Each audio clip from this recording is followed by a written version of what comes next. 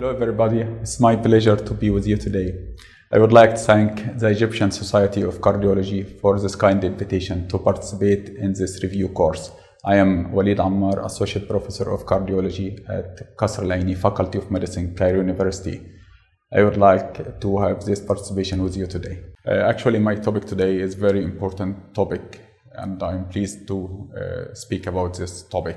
It is related to the leading cause of death worldwide, which is ischemic heart disease, namely complications of acute myocardial infarction. Uh, complications of acute myocardial infarction are many. Uh, they are either life-threatening, like cardiogenic shock, or very benign, like pericarditis. Uh, and these complications, for example, include cardiogenic shock, acute heart failure, right ventricular infarction, mechanical complications like left ventricular septal rupture, left ventricular rupture, mitral regurgitation, LV aneurysm. We may have electrical complications like ventricular arrhythmias, atrial fibrillation, or AV block. We have, may have ischemic complications like reinfarction or infarct extension or post-infarction angina. Other complications include embolic, thrombotic, and bleeding complications such as LV thrombi, venous thromboembolism, or vascular access bleeding complications related to PCI procedures. Finally, we may have a pericardial complication, complications like pericarditis or pericardial effusion. LV dysfunction is the most frequent consequence of STEMI and is a powerful independent predictor of mortality. It's caused by myocardial loss or ischemic dysfunction, what's called stunning in some cases, and this may be worsened by arrhythmias, valvular dysfunction, or mechanical complications. Improvement in ventricular function usually occurs following early successful myocardial reperfusion, but this may take weeks to occur. And diagnosis is made mainly by clinical and imaging modalities, most frequently echocardiography. LV aneurysms may be either a true aneurysm or a false or pseudo aneurysm. LV true aneurysm this occurs in less than 5% of patients with large transmural myocardial infarction undergo adverse remodeling with subsequent development of LV aneurysm. Patients frequently develop heart failure, which should be treated according to the specific guidelines for heart failure. Surgical aneurysmectomy seems of doubtful benefit. However, surgery may be considered in patients with large aneurysms and uncontrolled refractory heart failure or recurrent ventricular arrhythmias not amenable to ablation. On the other hand, LV pseudoaneurysm occurs when we have an incomplete rupture of LV free wall, and this rupture is sealed by pericardium and hematoma. It lacks the elements of myocardial wall. On the other hand, it is a pericardial wall and thrombi. We have by echo an echolucent space external to the LV, and this space has a narrow neck with a ratio of the neck to the maximal diameter of less than 50%. It may contain thrombus with, with a very characteristic Doppler profile with a bidirectional to and fro flow pattern by echo. And this figure shows the difference between a true aneurysm on the right and left and a pseudoaneurysm. As you can see in this figure, the pseudoaneurysm has a narrow base with the walls composed mainly of pericardium and lining thrombi, and this condition carries a high risk for pericard for rupture. So an urgent surgery is needed for pseudoaneurysm for fear of rupture. On the other hand, the true aneurysm have wide base and the walls is composed of necrotic myocardium and the risk of rupture is lowest through aneurysms. This echocardiographic uh, imaging showing both of them. On the left side, we have evidence of a pseudoaneurysm with a narrow neck and the wall is composed of pericardium with lining thrombi. On the other hand, we have evidence of apical scarring with apical true aneurysms. Next complication of myocardial infarction which may encounter during hospitalization is LV thrombus. And LV thrombus formation is a frequent complication in patients with anterior myocardial infarction even in absence of apical aneurysm. And for mural thrombi, once diagnosed, oral anticoagulation should be considered for up to six months. And the duration is guided by repeated echocardiography with consideration of bleeding risk and the need for concomitant antiplatelet therapy to decide the risk and benefit ratio of bleeding versus prevention of thromboembolism. The clinical experience with direct oral anticoagulation compared to vitamin K antagonist is limited, but we have some evidence of superiority of vitamin K antagonist warfarin compared to new direct oral anticoagulants. This echo finding of LV thrombus, as you can see at the apex, and be careful that these patients have a high risk of systemic embolization, and the most common form is stroke, and this usually occurs within the first 10 days after myocardial infarction. Transthoracic echo is the modality of choice for diagnosis with a 92% sensitivity and 88% specificity. Another complication which may encountered during management of uh, acute myocardial infarction is secondary mitral valve regurgitation. And this occurs as a result of LV remodeling.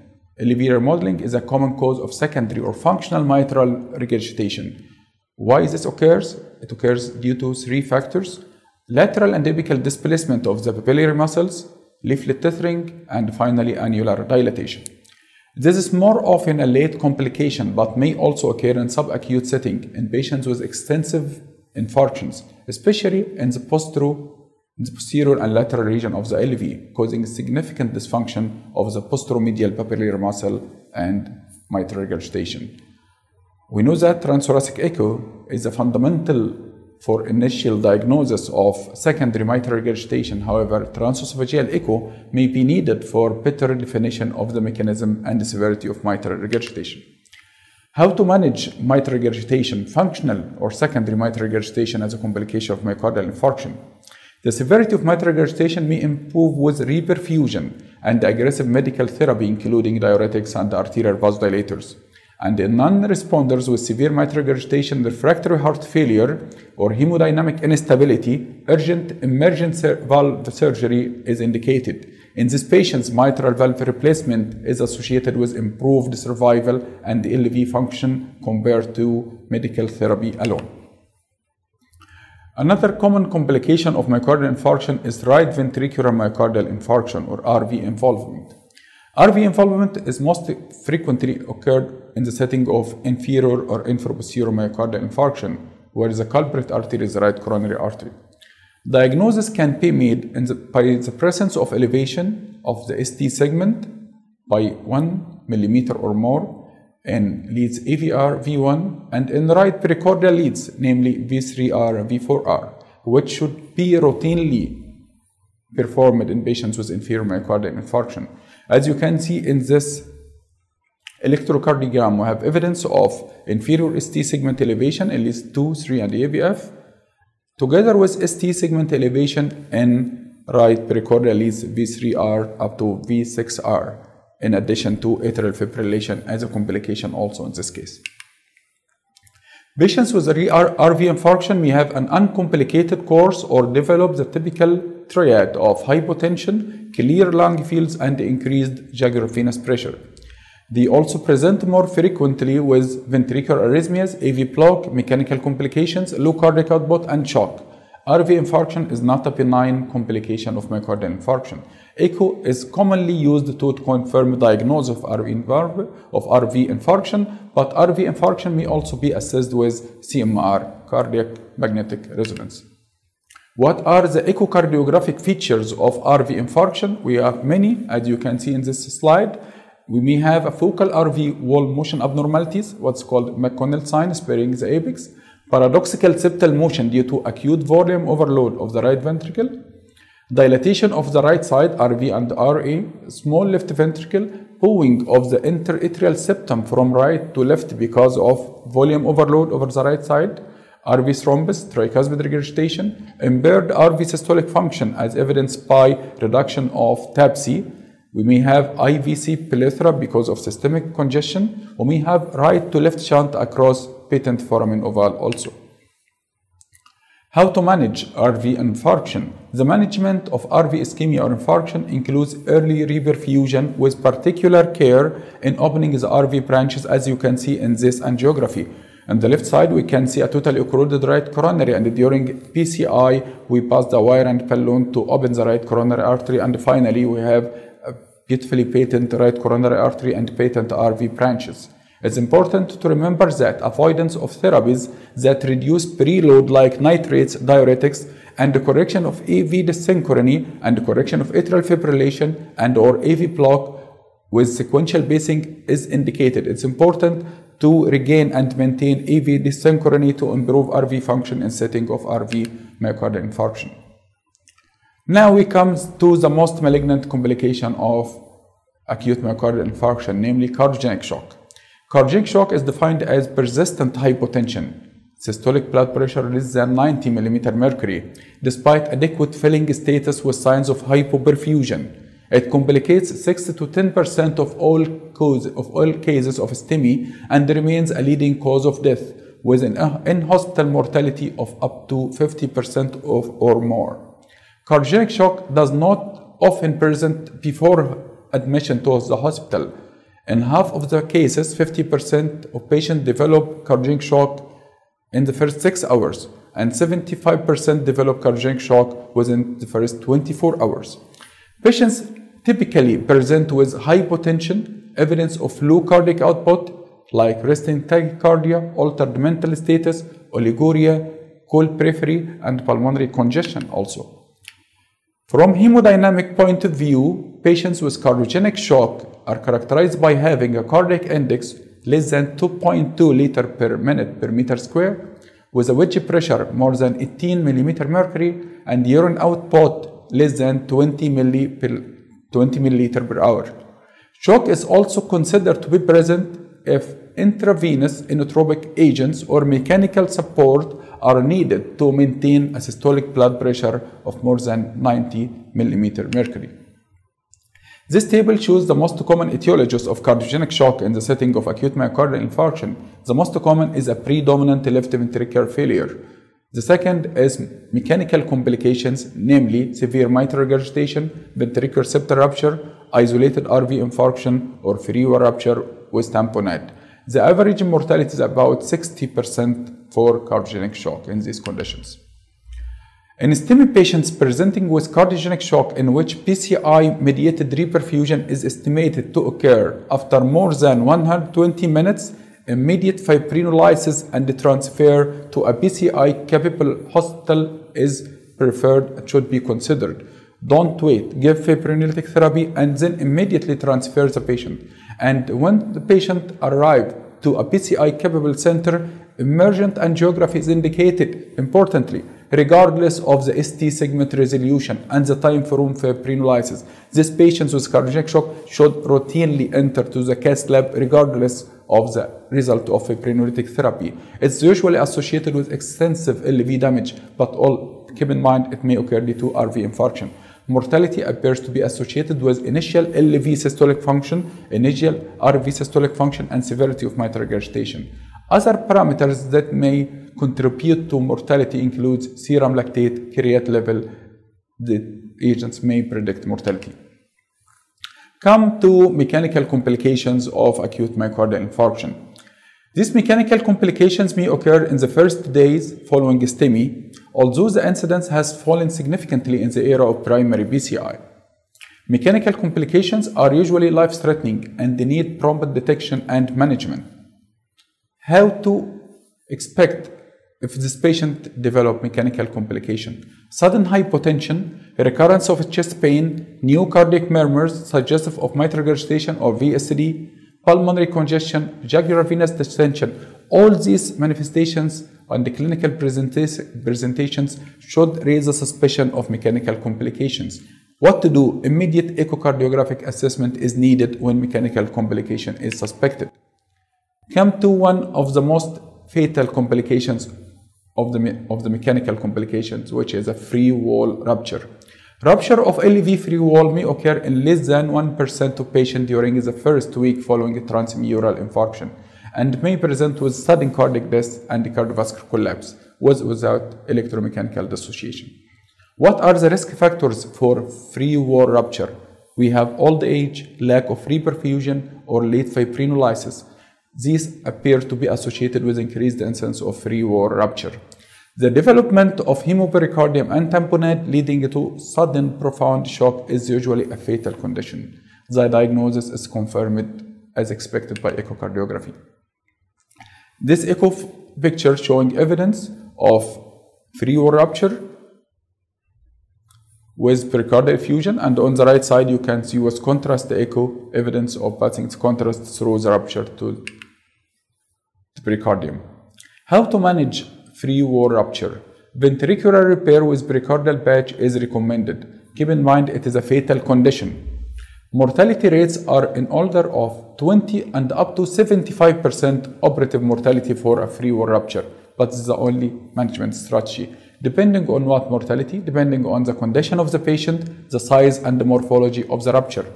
In suitable patients, CMR can complement the diagnosis by identifying the contained cardiac rupture and its anatomical features to guide surgical intervention. The second most important mechanical complication is ventricular septal rupture, and this occurs in less than 1% of patients with acute myocardial infarction. It has a bimodal distribution, either in the first 24 hour or later or later within 3 to 5 days.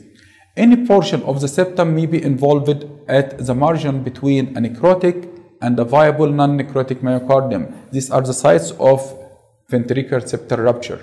Anterior ventricular septal rupture tends to be located distally with defects that perforate the septum at the same level, what's called a simple ventricular septal defect. On the other hand, inferior ventricular septal rupture or defects are located more basal and follows a serpiginous course, what's called complex. Basal VSDs are difficult managed than simple apically located VSDs.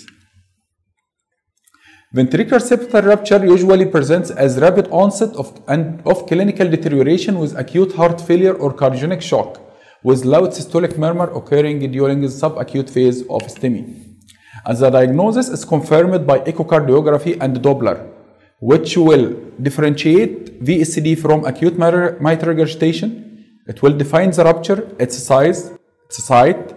It will quantify the left to right shunt, which can be more precisely confirmed by Swan-Ganz catheter. Swan-Ganz-Kester, one of the main indications for using it is left to right shunt due to VSD.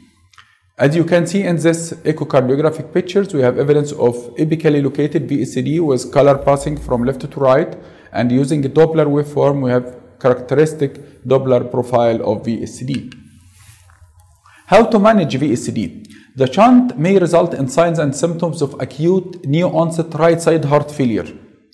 Intra-aortic balloon pump may stabilize the patient in preparation for angiography and surgery. Keep in mind that be cautious with using IV diuretics and vasodilators because these patients are most, most of the time hypotensive. Surgical repair may be required urgently, but there is no consensus on the optimal timing of surgery. Why we don't have consensus? Because the operative mortality is high. Early surgery is associated with a high mortality up to 40% and a high, also high risk of recurrent ventricular rupture, while delayed surgery allows easier septal repair in scarred tissue but carries the risk of rupture extension and death while we are waiting for surgery. Therefore, what to do? Immediate surgery or postpone surgery. This depends on the clinical condition and the response of the patients to treatment. For this reason, early surgery should be performed in all patients with severe heart failure that does not respond rapidly to aggressive therapy, but delayed elective surgery repair may be considered in patients who respond well to aggressive heart failure therapy. Now we have other modality of treatment for VSD complicating acute myocardial infarction, which is a percutaneous repair. Percutaneous closure of the defect with appropriately designed devices become an alternative to surgery. As you can see in this echo at the arrow, we have side, we have an apically located VSD, and on the right side, we have a VSD closure device that successfully closed the defect.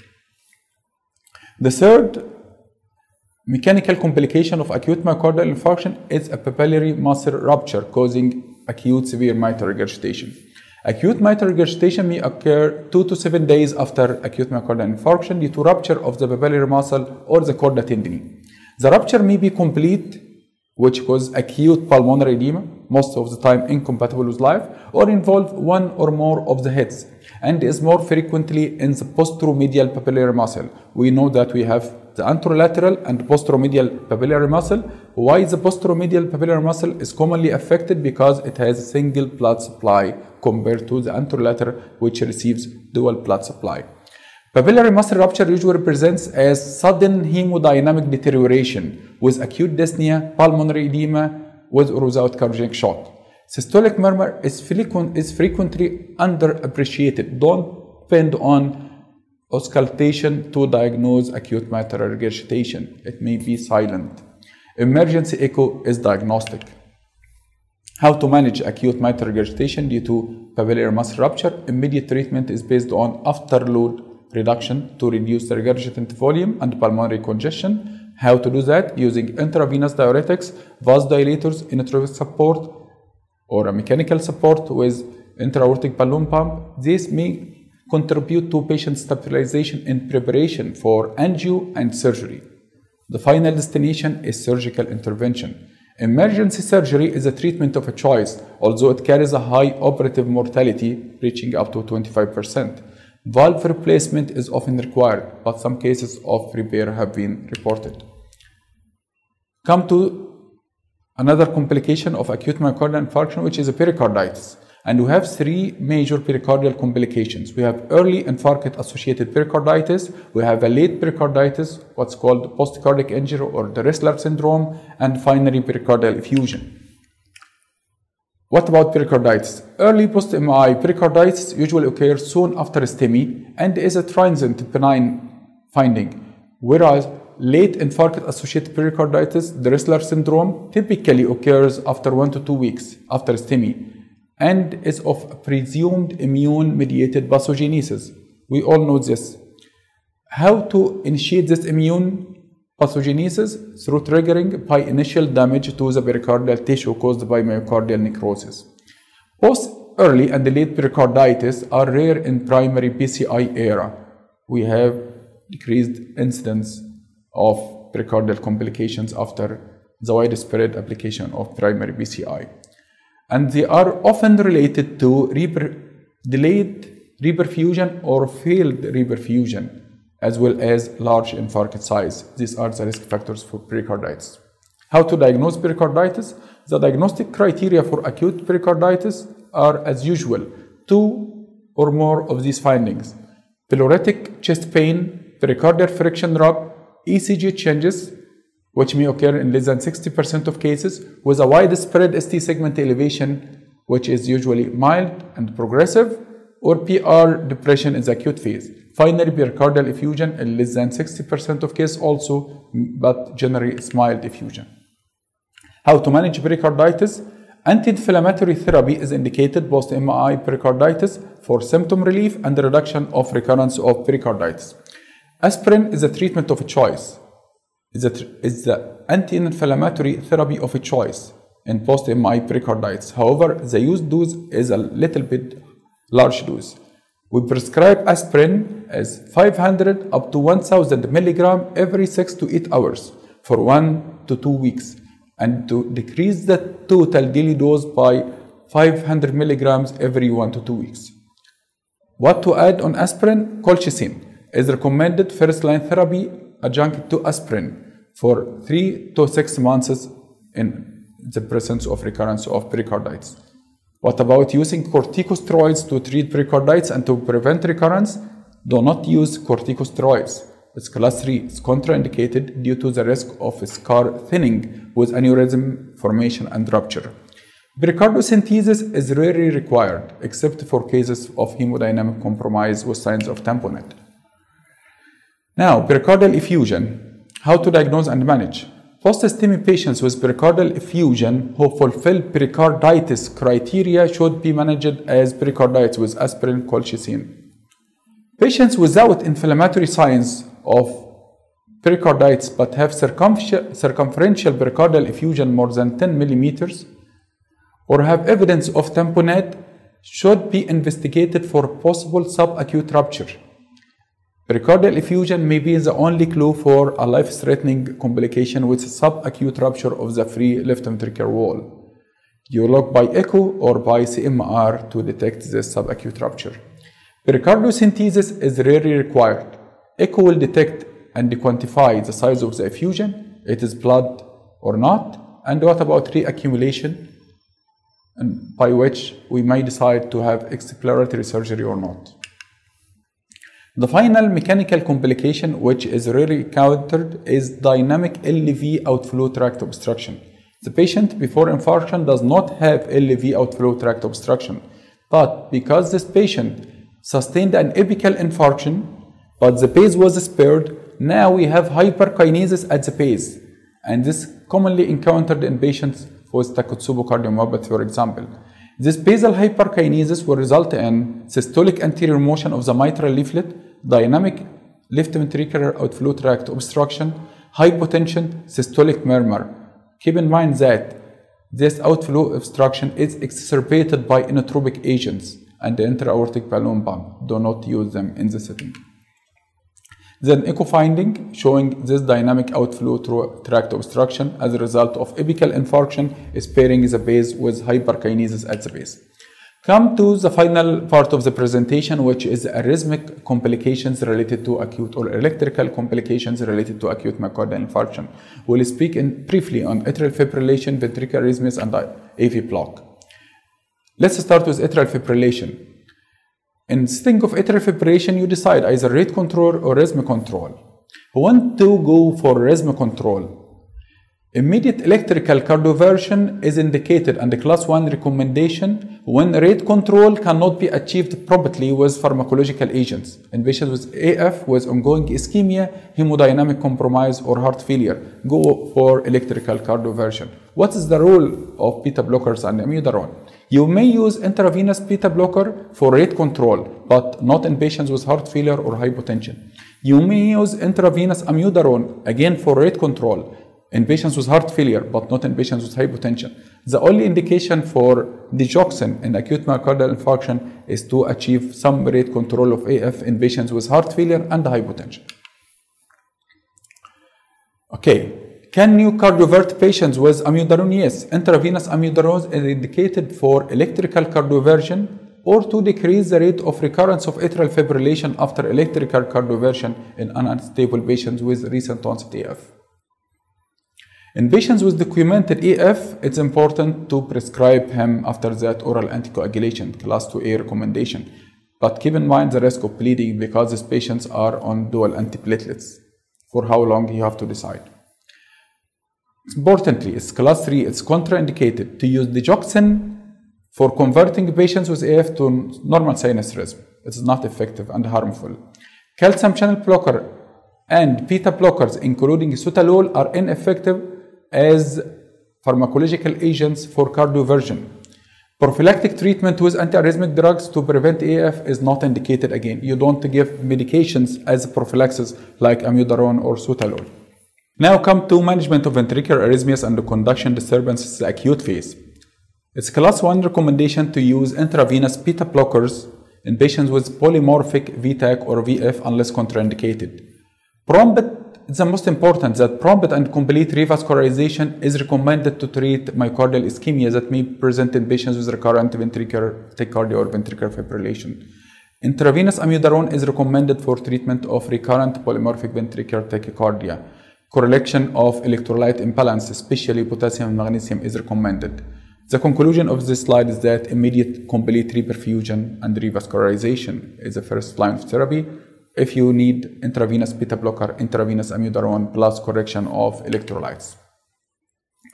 In case of sinus bradycardia with hemodynamic intolerance or high degree AV block with, without a stable escape rhythm, what to do? Positive chronotropic agents like epinephrine, vasopressin, and or atropine are indicated class 1 recommendation to increase the sinus rhythm and improve AV conduction. Temporary pacemaker may be indicated in case of failure to respond to positive chronotropic agents. Finally, urgent angiography with intention to revascularize is indicated if the patient does not receive previous reperfusion strategy. Keep in mind that amiodarone is class 2A recommendation if the patient developed recurrent ventricular tachycardias and despite repetitive electrical cardioversion. You can add amiodarone to decrease the need for electrical cardioversions.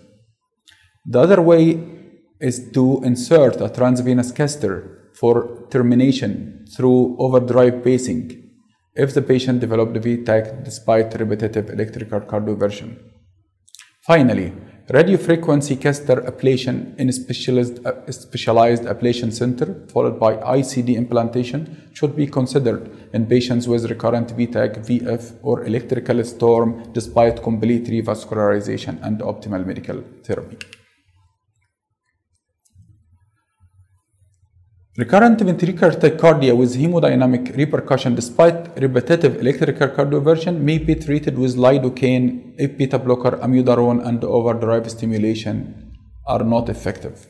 This is the last medication to be used to treat ventricular arrhythmias. So we start with revascularization, then beta blockers, amiodarone, correction of electrolytes, and if despite all of these you insert a catheter for overdrive pacing termination and all of these failed you can use lidocaine and its class 2b recommendation.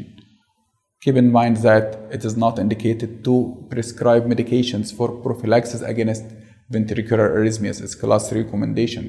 Also asymptomatic and hemodynamically stable patients with pvcs are not receiving you do not prescribe antiarrhythmic medications for these patients my last slide in this presentation. What about long-term management of ventricular arrhythmias and risk of sudden cardiac death? As class one recommendation to advise patients for ICD therapy to reduce sudden cardiac death in patients with symptomatic heart failure, NYHA class 2 or 3, with ejection fraction less than 35%, despite optimal medical therapy for three months and at least six weeks after acute myocardial infarction who expected or survive for my, for patients who expect to survive for more than one years. In these patients, you advise for ICD as a prophylactic treatment or primary prevention against sudden cardiac death. Finally, ICD implantation or temporary use of wearable cardioverter defibrillator may be considered if the patient developed arrhythmias in less than six weeks or less than 40 days after acute myocardial infarction in selected patients patients with incomplete revascularization, pre-existing LV dysfunction, occurrence of arrhythmias more than 48 hours after STEMI, or patients with polymorphic VTAC or VF despite revascularization. In these six weeks, you can prescribe the patient a wearable temporary defibrillator until you exceed the six weeks, after which you decide this patient needs permanent ICD or not. Thank you very much. At the end, I would like to thank you for kind attention. I hope this presentation was satisfactory to you. Thank you very much.